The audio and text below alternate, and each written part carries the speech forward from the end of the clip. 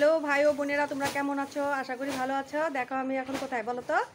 গরুর গোয়ালে দেখো। গরুগুলোকে সব খাইতে দিছি। আর আমি গরুর গোয়ালে আছি। আজকে তোমাদেরকে গরুর বিষয়ে একটা কথা বলতে চাই। কি কথা জানো? তার মানে গরু কতগুলো গরু যখন গাপ থাকে, গরুগুলো যখন গাপ থাকে, তখন কতগুলো গরু কি হয়? ভিতরে থেকে যেটা আমাদের বাচ্চা থাকে, বাচ্চা থৈলাটা কি করে? বাইরে হয়ে আসে। তখন তো যে যে জানে না, তার তো অনেক মানে ভয় হয়ে যায়, কেন বা বাইরে আসলো? সেটা বাইরেনের কারণ হলো এক নম্বর, গরু যখন গাব অবস্থায় থাকে, তখন তো তোমরা মানে কতগুলো মানুষ আছে যে হলো গরুর মানে ক্যালসিয়াম কিবা কি আয়রন এগুলো খাওয়ায় না।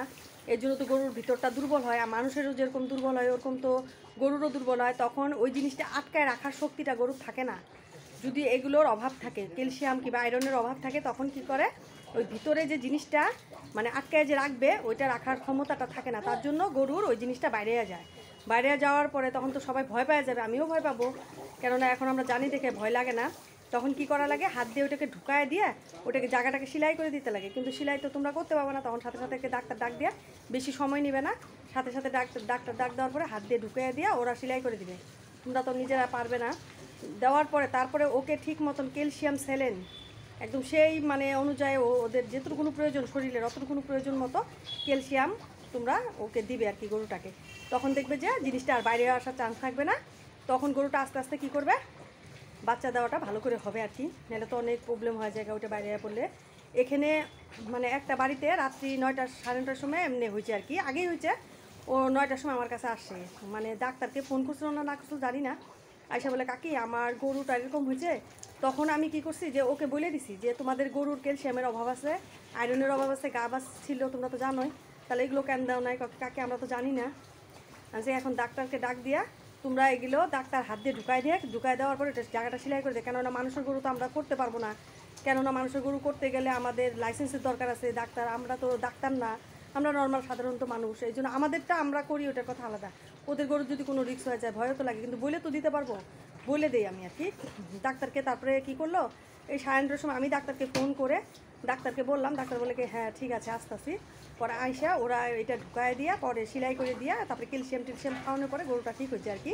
তার জন্য যারা যারা নতুন ফার্ম খুলছো, তারা তো জানো না, তার জন্য আর কি। কেননা আমার অনেক ভাইরা বলে যে, দিদি ভাই, আমি ফার্ম খুলতেছি, আমার নতুন ফার্ম, তোমার ফার্ম দেখে আমার ইচ্ছা খোলা। সেজন্য আমি এই কথাটা বললাম আর কি, তোমরা এটা মানে তাড়াতাড়ি করবে, যত দেরি করলে তো এটার মধ্যে ইনফেকশন হয়ে যায় মানে বাইরে মাছি টাসি বসে, বহুত ইনফেকশন হয়, যত তাড়াতাড়ি পারো, ওটাকে ঢুকাই দিয়ে সেলাই করে দিবে। পেটের ভিতর ঢুকাই দিয়ে। জায়গাটাতে বসে থাকবে, কিন্তু আবার বাইরে হওয়ার চান্স থাকবে। তার জন্য ওটাকে কী করে? সেলাই করে দেয়। তারপরে ক্যালসিয়াম টেলসিয়াম দিলে ওই জায়গাটাতে মানে মানে বাইরেও আসবে না আর কি গরুটার ভিতরে যখন ক্যালসিয়ামটা থাকবে, তখন মানে বাইরেও আসবে না। এটা আর কি আমরা করি আর কি যে তোমরাও করো। এই কথাটা বলার জন্য ভিডিওটা বানালাম। আর আরেকটা কথা বলি, যার বাড়িতে ঘাস নাই, যেমন ঘাস নাই, তোমরা তাহলে ঘাসের জন্য তোমরা গরুকে কি খাওয়াবে? আমরা তো মানে ঘাসের জন্য তো কিছু কিছু খাইতে হয়। তা ঘাস যেহেতু আমাদের বাড়ির এখন নয়, সেজন্য একটা পাউডারের নাম আছে, সেটা হলো এ টু জেড পাউডার ওইটা আমরা কি করি? ঘাসের জন্য আমরা আর কি খাওয়াই আর কি। ওটা ঘাসের অনেক অনেক মানে কাজ করে, ওটাতে অনেক প্রোটিন থাকে। ঘাসের যেরকম প্রোটিন আছে, ওইটারও প্রোটিন আছে, এই জন্য আমরা ওইটাকেই খাওয়াই। তো তোমরাও যদি পারো, খাওয়াবে। আমি তো ওইটাই খাওয়াই, ঘাস যখন না থাকে। এখন দিনে তো ঘাস পাওয়া যায় না। তার জন্য যখন ঘাসের দিন আসে, তখন ঘাসই খাওয়াই। আর যখন ঘাসের দিন না আসে, তখন আমরা এটাই খাওয়াই। আমি এই জন্য মানে আমার ভিডিওটা যদি তোমাদের শুনে ভালো লাগে, তাহলে কমেন্টে বলো। যে কী বলবে তোমরা? যে ভালো হলো না খারাপ হলো? তোমরা বলে দিও। রাখি টাটা, বাই বাই। তোমরা ভালো থেকো, সুস্থ থেকো সবসময়।